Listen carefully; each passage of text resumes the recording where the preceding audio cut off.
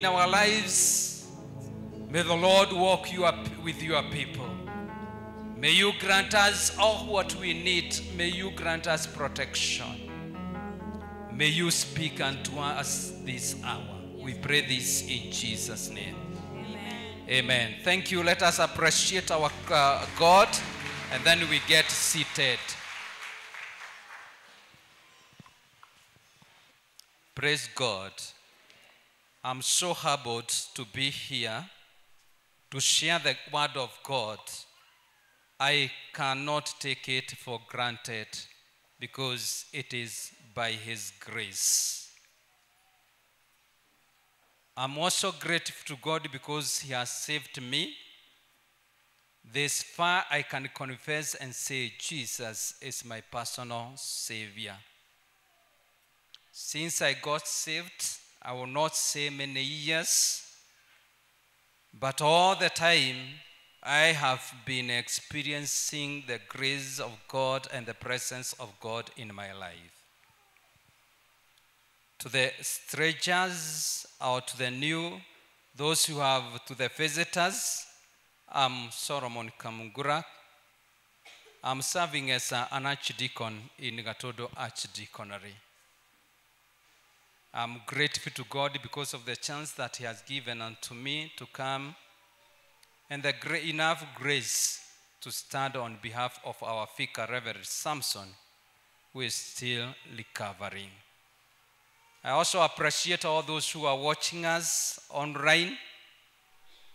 You are great people. You have sat all the others, FMs, and uh, anything else so that you can join with us in our FB and also our YouTube. In, uh, we thank God. Today, I want to share with you about work. In our diocese, the theme of this month is work. And out of that theme, I have our sermon theme that is perfecting our work. That is our theme today. Brothers and sisters, if there is something that we struggle every day, is to make sure that our businesses are doing very well. It's to make sure that we are getting in our jobs on time and sometimes getting home very late. Everybody who is seated here and those who are watching us, this is our daily routine of waking up very early. Now, sometimes sleeping very late, trying to pull all the ends together so that our life can be able to be a good life. It is a desire of every person to have a good and a perfect job, to have a perfect business, so that at the end we'll get where our secretary was talking about money working for us rather than us working for money. Now, how to get there? It is a journey. But, my brothers and sisters, it is very much possible. The first thing I want to emphasize is that it is God who give us chance to work. It is not because of how qualified we are, because there are people who are looking for job and applying, and they have stayed for years, and according to their papers, they are qualified. But by the grace of God, you have somewhere to go and get your salary or a profit. And therefore, when we talk about work, we talk about the grace of God, which is so much sufficient to us that we are getting somewhere and work. It is good to ask also a question why are you, why are we alive today? In terms of work, we are alive we are alive to work. Is that not true?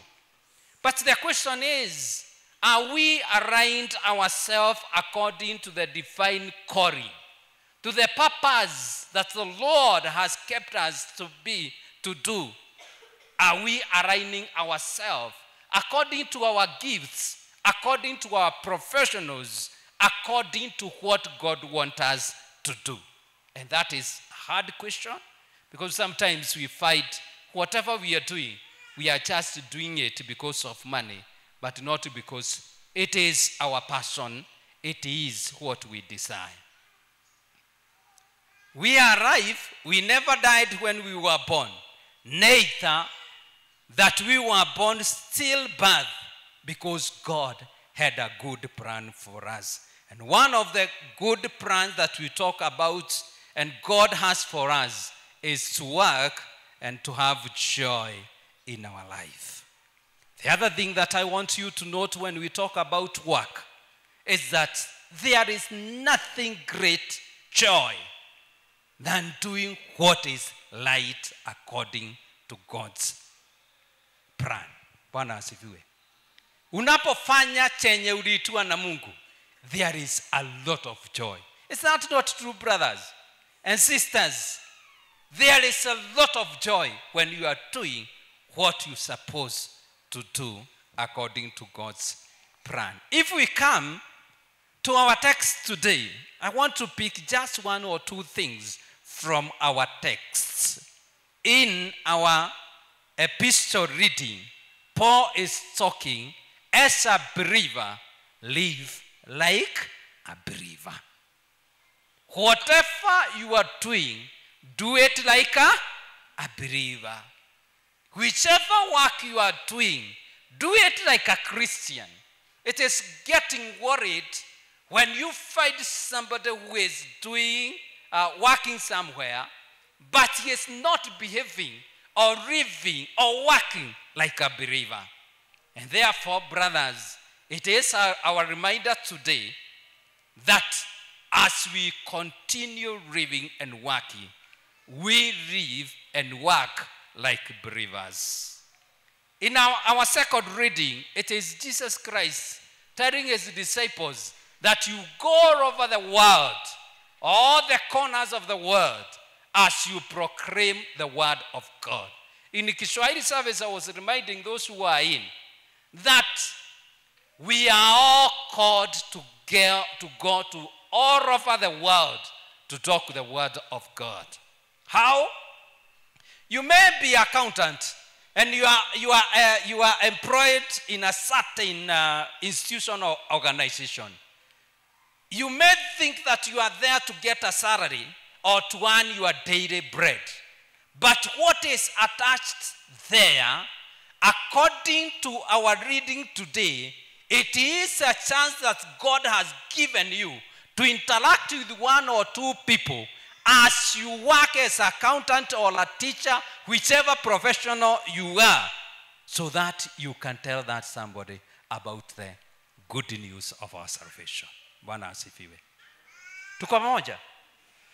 So when God is talking going all over the world, it is proclaiming the word of God wherever we are working. Whatever we are doing, it is a chance that God has given you to share the good news. Those who are seated in this and even those who are watching over the, the uh, over through the online. If you are next to somebody, just ask somebody, when is the last time you shared good news with your customer? Hello?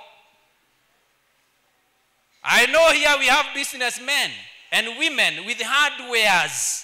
When the customer comes, do you take advantage of as you negotiate the price? Unarusa maneno au neno moja hapo ya Mungu anaokoa, Yesu anaokoa. Today I want you as you go home, as you go back to that business, you realize that that is a chance God has given you to proclaim good news. As a motorbike rider, and you are carrying a, a, a customer can you share the word si tunawapatanga wakiwa na story nyingi uh, uh, between the rider and the i wish we can be taking those advantages so that we can be able to proclaim the word of god all over the world. I know those who are seated here even those who are watching us maybe you travel from one country to another.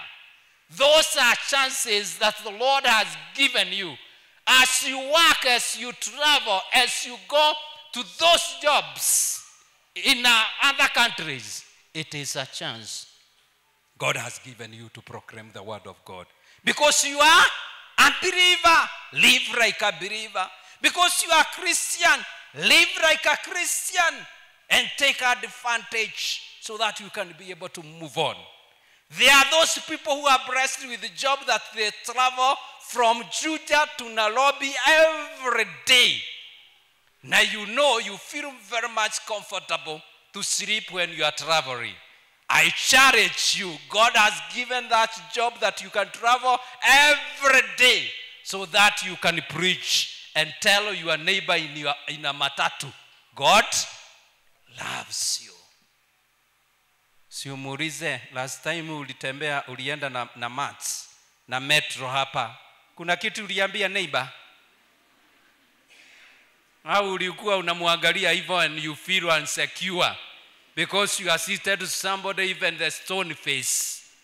It is a challenge that if you are given a job it is a chance that the lord has given you to proclaim the word. Hello?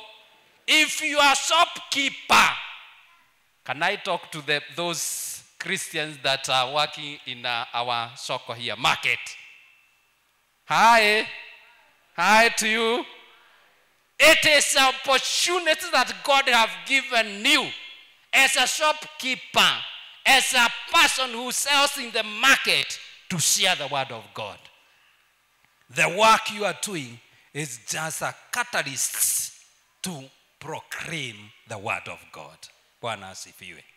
Now I want to take you through just five points how you can perfect your business, how you can perfect your work, because our theme today is perfecting our work. Point number one is daily devotion. Always before you get out to go to work, it is good to have fellowship with the one who created you, with the one who has granted you grace to have your job.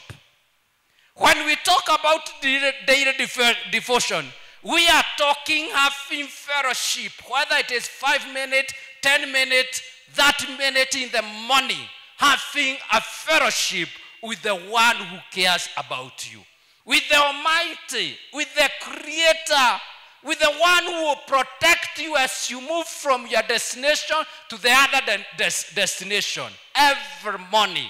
My dear brother and sisters, it is good to perfect your, your job or your work through devotion. Hello? When we talk about devotion, we are talking about reading of the word, having time to pray, having time to meditate, having time to repent, having time with God. And so, wewe ambao unafanya kazi, it is good to have devotion with God. Bwana asifiwe. The second point is about be a person who can be visionary, a person who can see future. If you are employed, the first day you reported as a wise and a person who wants to perfect his job, you need to see the exiting date. The date that you'll be retiring.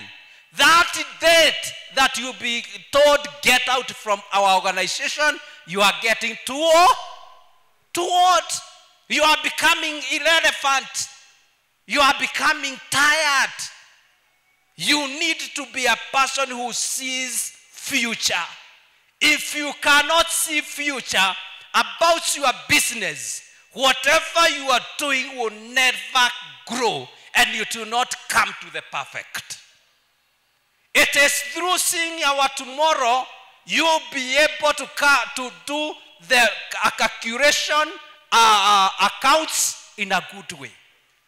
It is because of seeing tomorrow you, are you avoid this thing inafanyagwa na uh, wamama wetu na uh, ladies. Inaitagwa in pass by or pass by.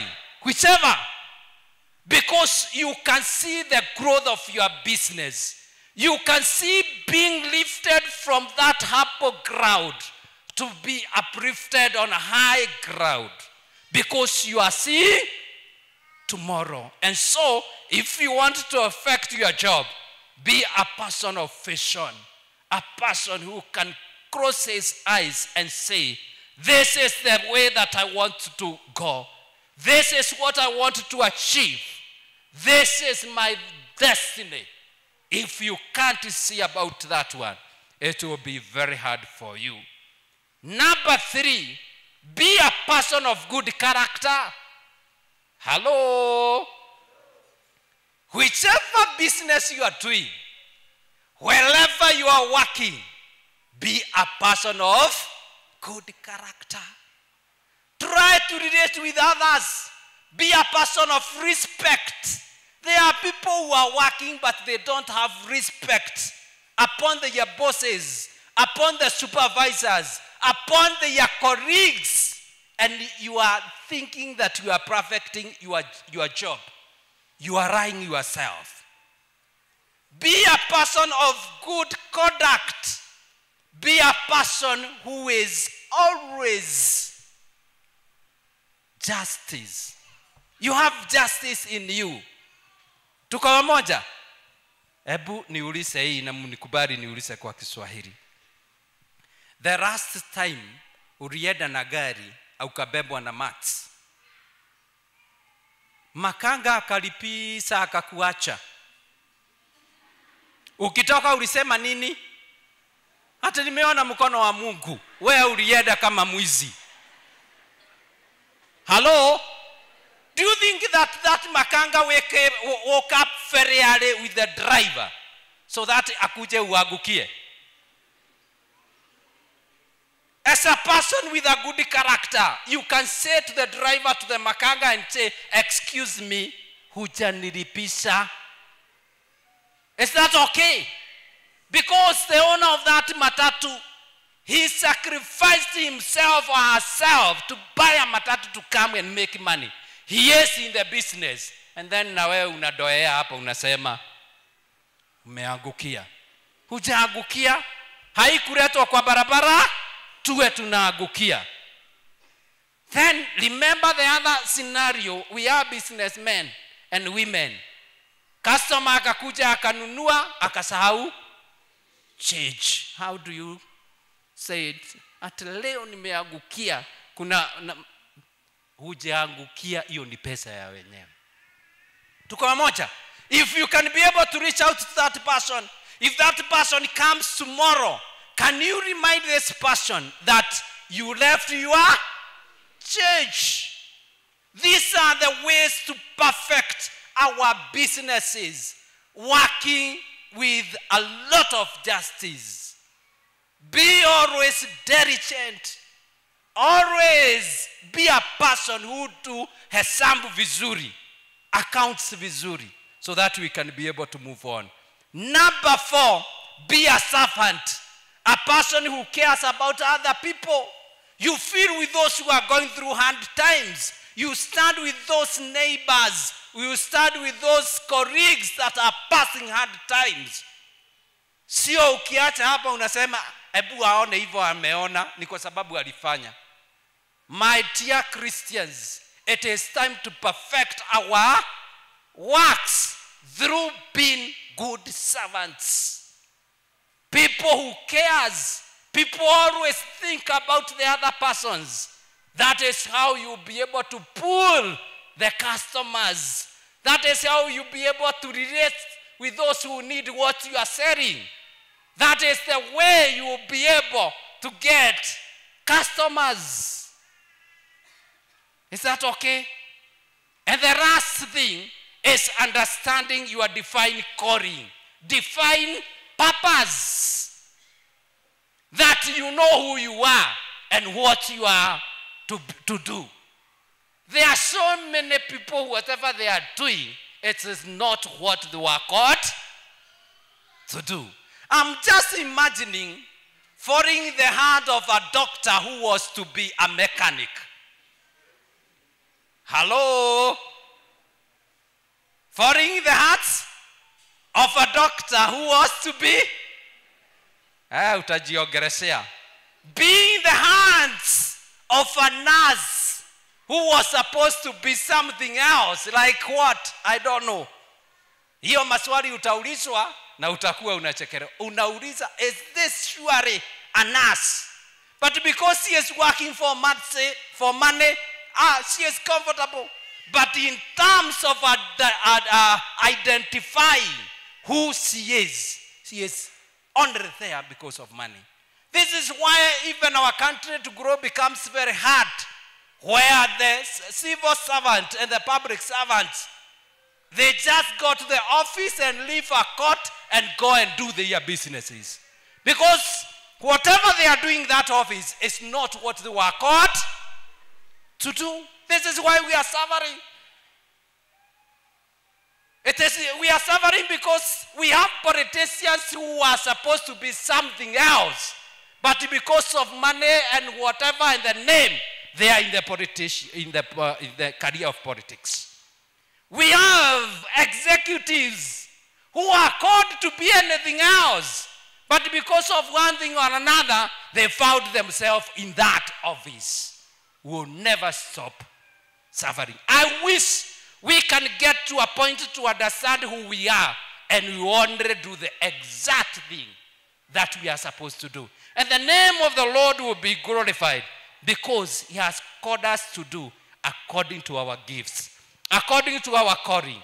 My dear brothers and sisters, I think those are just five few points that you can consider when you are dreaming and planning for perfecting your work. And doing this, it will take us on higher ground. The divine calling is living as per your gifts, is living as per your purpose. It is trying as much as possible to master who you are, self mastery, so that you can be able to move on. It brings a lot of joy in our lives when we are working and doing what is uh, uh, what we are called to do. It is upon you to work out to understand yourself. It is upon me to understand who am I. This is when why we are even suffering when we follow in the hands of a, a priest or, or a pastor who is not called. Now they are there. They are there. They are there outside. And they are not caring. What they are caring is have you given what they need? May the Lord help us that we perfect our jobs, that we perfect our businesses, that we perfect our works. In the name of the Father, the Son, and the Holy Spirit.